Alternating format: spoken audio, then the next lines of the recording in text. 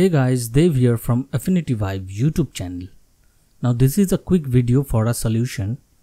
Sometimes many users have facing an issue after they update their Affinity Photo software. Sometimes they have lost their tone mapping persona preset from the left sidebar, like this.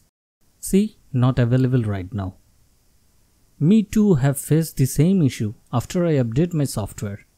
But don't worry, this can be easily fixed within a minute. It's just an option button that is visible right now and you need to enable it if you have faced the same issue. So to bring it back tone mapping persona preset, go to top menu, view, studio, scroll down, show left studio. See this is unchecked or disable right now and this is an option to enable or disable tone mapping persona preset. Click on it. Now again go to tone mapping persona and it's available right now.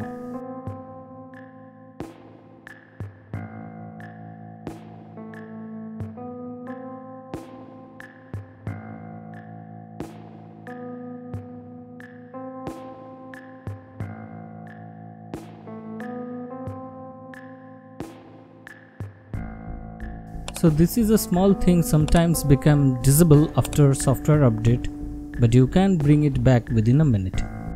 And that's it. I hope you find this video helpful. Be sure to subscribe this channel. Thanks for watching. I'm Dave from Affinity Vibe YouTube channel.